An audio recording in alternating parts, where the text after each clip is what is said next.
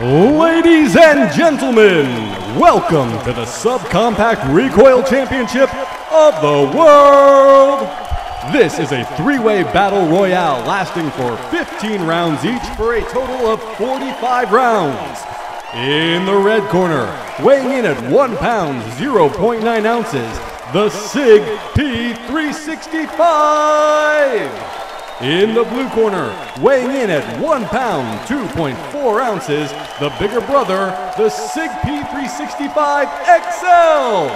And in the yellow corner, the challenger weighing in at 1 pound 4.2 ounces, the Icarus Precision Elite Combo. Let's get ready to recoil! Okay, gentlemen, I gave you the rules in the locker room. I want a nice clean fight. No recoils below the belt, touch muzzles, and go to your respective corners.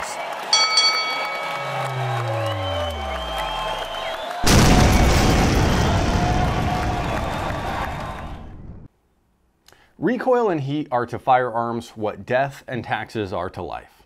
That is to say, they are a certainty. But there are often ways to mitigate these negative effects.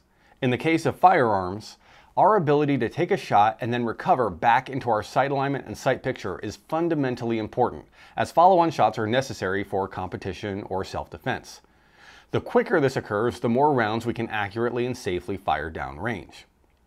Physics tells us that the smaller and lighter the firearm, the more it will recoil compared to a larger one using the same ammo.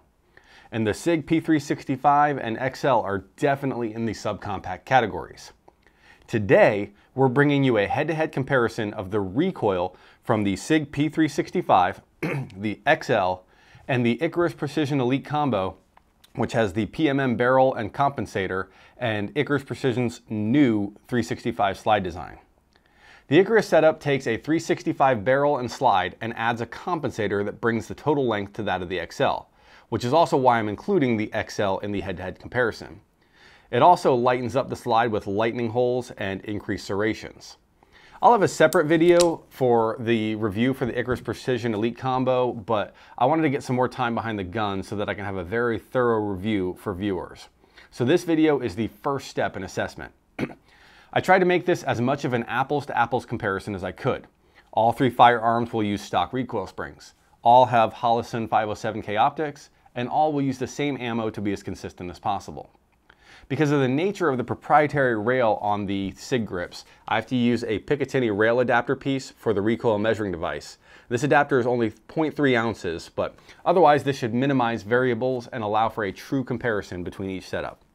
We're going to accomplish this setup and testing using the Mantis X10 Elite, which has a recoil analysis feature providing four data points. And these points are muzzle rise, which is the peak angular rise of the muzzle after the shot breaks, recovery time, which is how long it takes for the firearm to settle after the shot, recoil angle, which is the angle to the left or right that the gun moves as it recoils upward, and recoil width, which is the width of the loop formed by the upward and downward movement of the firearm. I would like to point out that PMM has already done a video specific to their compensators, which is worth a watch. And their setup is arguably more laboratory controlled than mine, as he uses a chronograph and a recoil leverage device and multiple types of ammo. I'll provide a link in the description. This video is going to try to see what the complete Icarus Precision package does in terms of recoil mitigation compared to stock setups. And I'm doing this testing not just for video purposes, but for my own knowledge as well. I intend to actually carry this firearm, so it doesn't help myself to try to rig the outcome in any way. So I'll be utilizing as consistent a grip and trigger control as I'm humanly capable of. But this is the potential human error factor though.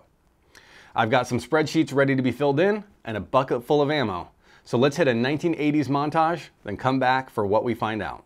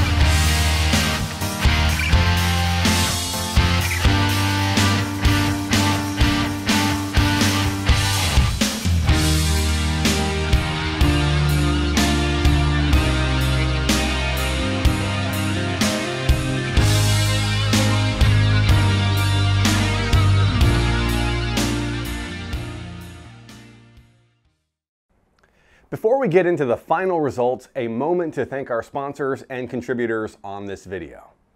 S2S 5-in-1 Gun Lube is our primary sponsor and makes this channel possible.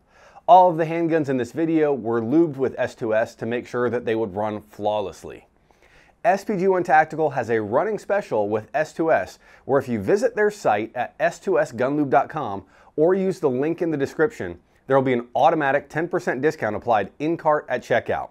It's really great stuff and I highly recommend you pick some up. And a shout out to onlineammo.com. They are the fastest growing online supplier for all your ammunition needs, providing low prices and fast shipping. They've got some great stuff in the works. So if you're looking for ammo, which, I mean, of course we all are, head over to onlineammo.com to pick some up.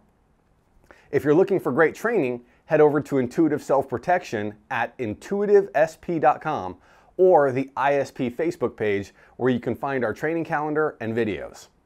A special thanks to Priority One Holsters who loaned us the SIG P365 so that we could accomplish this testing. If you're looking for a fantastic holster, be sure to head over to PriorityOneHolsters.com. Unfortunately, they don't have one for the Icarus Precision modules yet, but I'm hoping to get that changed. Lastly, please be sure to use those trigger fingers to tap or click on those like and subscribe buttons if you haven't already. The comment section has had some great input from viewers, so be sure to join in and stay tuned for future videos.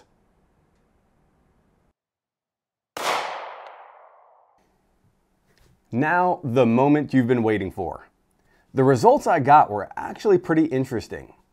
I was not surprised to see that the Icarus Precision setup performed better than the stock configurations. What did surprise me was the percentage better. When I watched the PMM video prior to making this one, I was a little skeptical when they claimed that the PMM compensators had a 40 to 50% reduction in muzzle rise, even though they had direct video of the testing. I was so shocked at the outcome of the Icarus data from the Mantis that I actually ran a second string of fire to make sure I wasn't getting errors. The entire Icarus Elite package with a stock recoil spring netted a 50 to 60% reduction in muzzle rise compared to the 365 and the XL respectively. That's a pretty huge difference.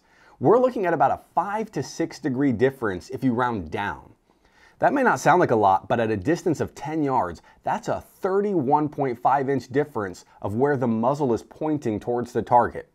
And this number obviously grows the further away you get. So why is this important?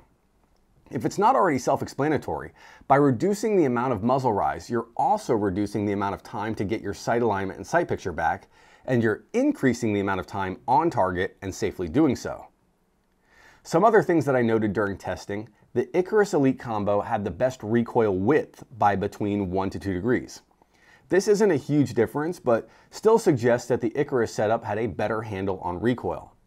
However, at least for me, the Icarus setup had the most extreme individual recoil angles. I'm not sure what contributed to this, as the average was still moderate, but as the muzzle rise and recoil width were so small, it appears that the recoil angle had very little effect on performance. Another thing noticed with the Mantis X10 Elite is that the recovery time seemed to act more like a split timer as opposed to a spatial reset point. So for consistency purposes, I tried to keep my rate of fire on a cadence. In my mind, this was more realistic as taking follow-on shots is an important consideration as recoil is concerned. And long pauses would also make the recovery times look skewed. Therefore, I maintained an average of a 0.5 second split on all 60 rounds. In retrospect, I should have shown video of the target as well so that you could see that my shots were all in one of those two to three inch paster targets, but honestly, it was damn cold. I was on a time crunch and I was by myself. So a lot of the extra B-roll I would have liked to have gotten got pushed aside for the sake of gathering the data, then getting warm, and then returning the 365. Overall though, this testing suggests with both empirical and subjective elements that the Icarus Precision Elite setup has a significantly flatter shooting profile with an easier recoil impulse, allowing for tighter shot groups at speed and or distance. This is due to factors such as the increased weight of the grip module, the reduced reciprocating mass on the slide, the compensator, and the integrated thumb rest. I feel like this was a fantastic first test into the performance capabilities of the product that Icarus Precision is bringing to the community, and I feel it takes a solid platform and turns it into a true elite system. Again, after I get some more trigger and carry time with this setup, I will provide a more detailed and thorough review on the grip module, the PMM barrel and compensator, and of course, Icarus's new foray into upgraded slides for the P365.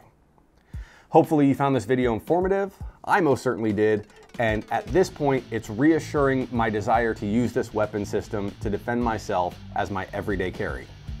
Hit up the comments section if you have any specific questions.